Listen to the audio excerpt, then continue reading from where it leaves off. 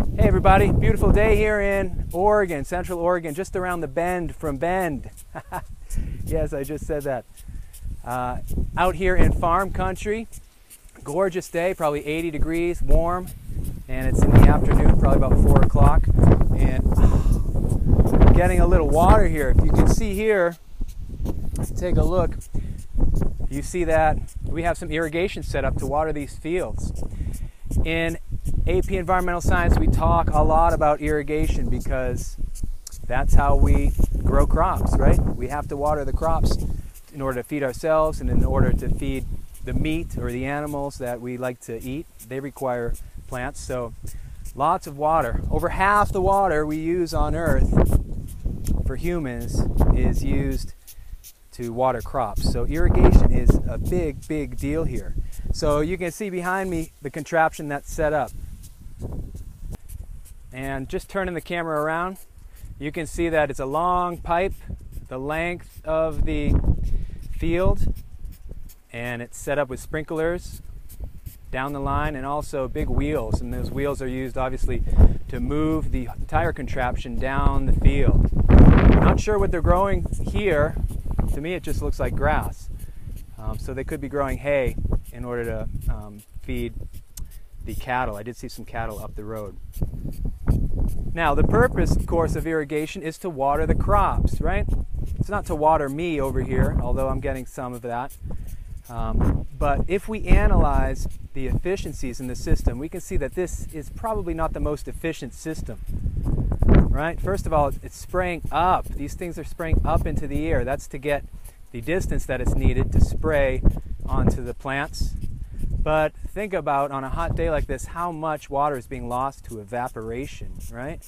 Hitting the air and the mist instantly turns into water vapor, so you're losing that.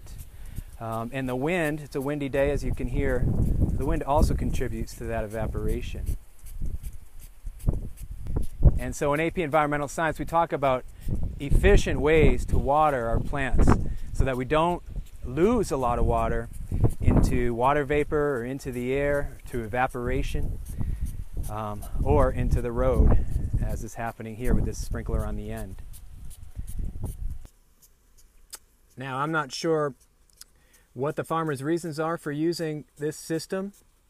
I'm sure they've got good reasons for using this system. Uh, we could analyze it for its efficiencies, but I'm sure the farmer could also analyze it for its benefits. Perhaps it's cost efficient. Perhaps it's easy to maneuver, easy to repair and maintain. All of these reasons, right? So you have to consider the whole picture here not just the uh, environmental impact. So, as we know, it takes lots of things to make a system sustainable, right? Okay, everybody. Hope you're having fun. Talk to you later.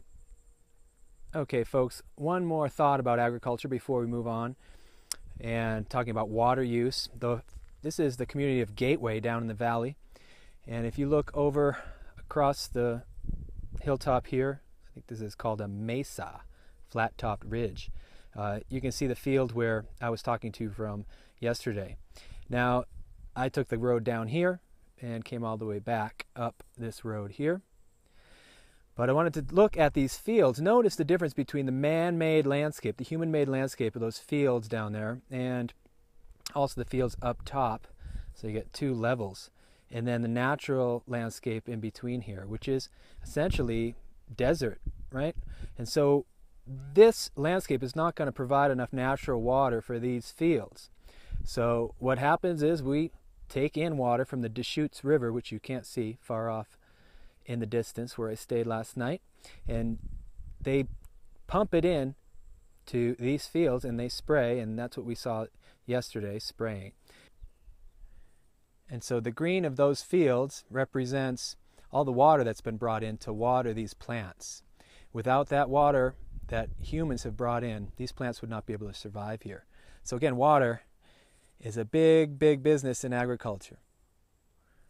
And finally, um, this field right here, if you really look closely, you can see little blobs of hay. They've already baled the hay, so they're going to be picking that up to feed the cattle. And not sure what they're growing in here. Again, uh, possibly more hay or an alfalfa crop or soybean crop. Okay, Central Oregon, beautiful place if you ever get the chance.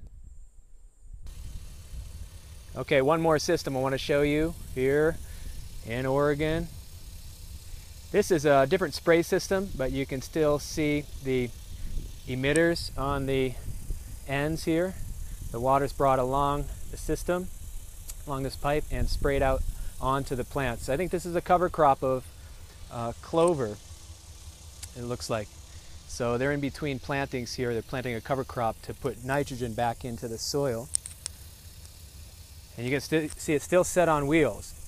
The other cool thing you can see about this system is you can actually see the ditch that brings the water, which is diverted from the Deschutes River by a series of canals, to the fields here.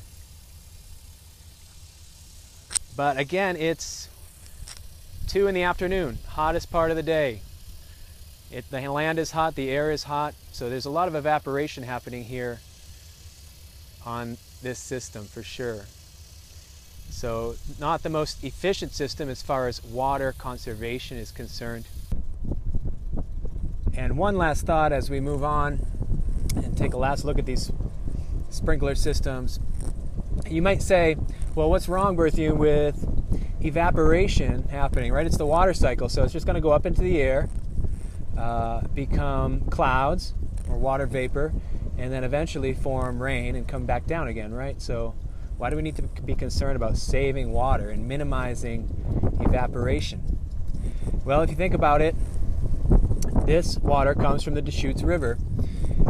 And so, what happens when it doesn't rain in the Deschutes River for a year or two years, like we're experiencing in California?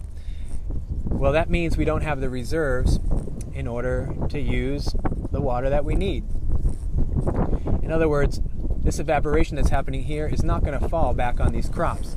It's going to be moved by the wind and the air currents into other parts of the country and the globe and settle down and rain down somewhere else.